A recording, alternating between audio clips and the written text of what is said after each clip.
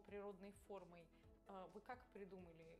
Не я придумал, сама природа придумала. Она же сама по себе красива, все, что не есть, все, что не есть в природе.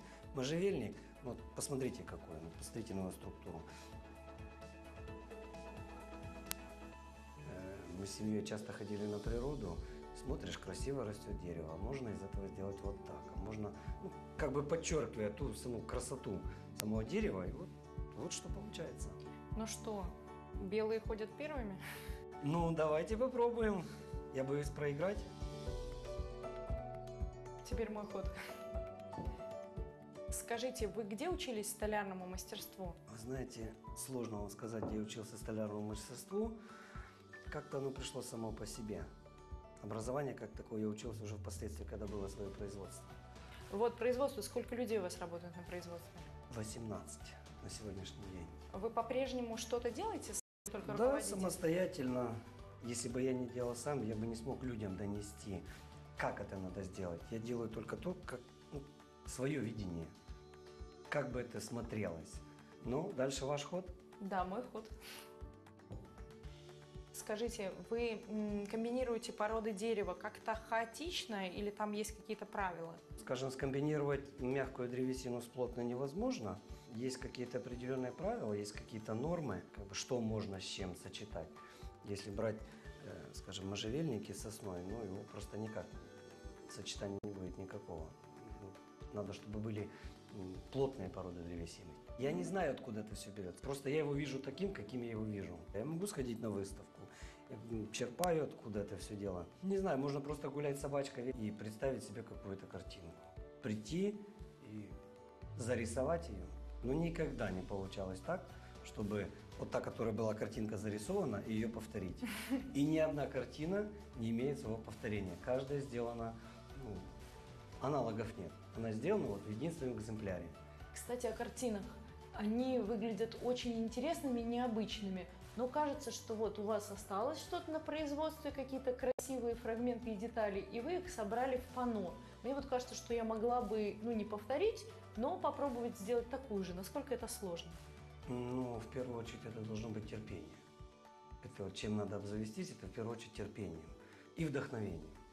Если вы хотите сделать такую картину, к этому надо настроиться. Ну, мне достаточно собрать несколько разных, э, разных веток, кореньев, чего-то еще и складывать их в хаотичном порядке. И так оно рождается? Или изначально у вас есть эскиз, вы знаете, что будет, Нет вот, например, эскиза. носорог? Всегда из любой картины, любая картина начинается с ее рамки.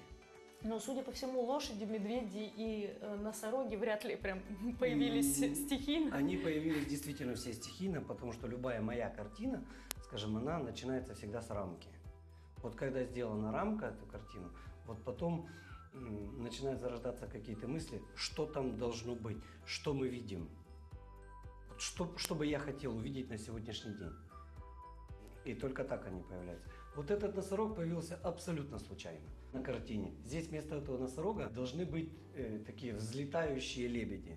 Но остался кусочек большой липы, и это из корня липы сделан этот носорог, и надо было ему найти применение, а лебедей нечего было вырезать. Эта картина делалась практически полтора года, вот это. А на самом деле как это происходит? Вы сколько-то собрали, а потом к этому А возвращаетесь? потом к этому возвращаюсь, так как шахматная партия. Так, Я шахматная играть. партия. Да, следующий ваш ход. Да, шах. Вау. Ой-ой-ой, мне уже этого надо бояться. Ну, давайте сделаем вот так, и мы спрячемся от этого шаха. Вы удачно защитились. Хочется посмотреть, где делают такую красоту и увидеть производство. А в шахматы потом доиграем. Да, ход остается за вами. Нравится смотреть телеканал? Еще больше советов о дизайне и ремонте ждут вас в социальных сетях «Тномер».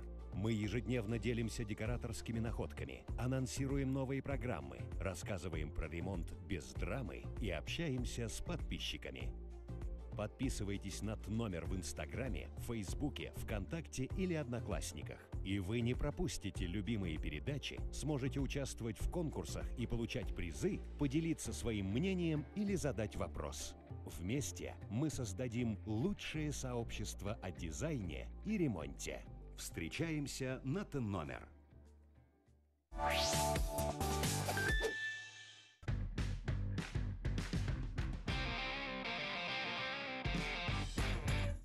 Пни – великолепный материал для того, чтобы создать уникальную мебель своими руками, ведь в природе нет двух одинаковых деревьев. Такая мебель подойдет для интерьера в любом стиле, будь то классика, минимализм или лофт. Если пень окрасить в глянцевые или металлические оттенки, то даже хай-тек может органично вместить такой предмет. Обработанный спил ствола дерева или пенек может стать удобным журнальным столом в гостиной, прикроватной тумбой в спальне, табуретом на кухне или столиком в ванной. Чаще всего в интерьере пень используется именно в роли тумбы или столика. Другая интересная информация о производстве авторской мебели на сайте tnomer.ru.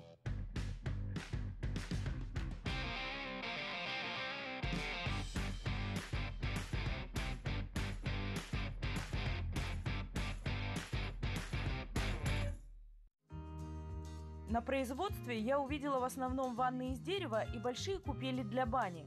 В наше время деревянная ванна – это редкость, а ведь прежде, много веков подряд, люди мылись именно в деревянных емкостях. Конечно, современная ванна делается по новым технологиям, и древесину обрабатывают иначе. Что такое термоясень? Это древесина, которая выжарена, скажем, высушена при температуре 180-200 градусов.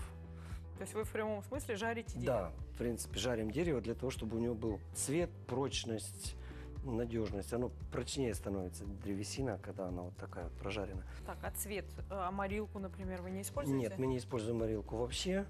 Для цвета мы просто термируем древесину.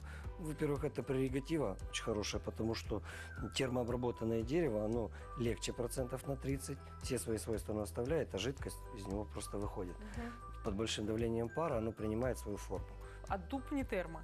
Дуб не термо, дуб самый обычный дуб, который растет на Кавказе. Он высушен просто при такой технологии в, в три сушки.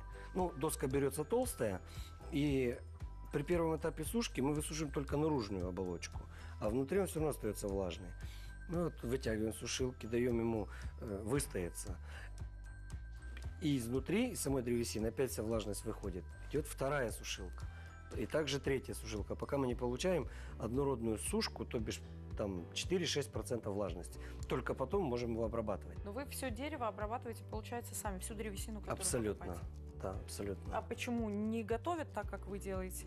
Или у вас все-таки особенности технологии? Для того, пошли? чтобы приготовить, мы же знаем, что мы будем делать из этого, Мгм. из этого материала. И под каждую, под каждую продукцию, под каждое изделие есть своя технология сушки. Для того, чтобы оно вело себя хорошо и для того, чтобы было все замечательно. А насколько важен, вот здесь мы видим срез, довольно красивый. Это только про красоту или очень важно, как по волокнам, вдоль волокон? Красота это хорошо, но оно должно держаться. Оно должно иметь ну, свою форму, чтобы потом в процессе эксплуатации не было никакой деформации. Ну, вы же их склеиваете.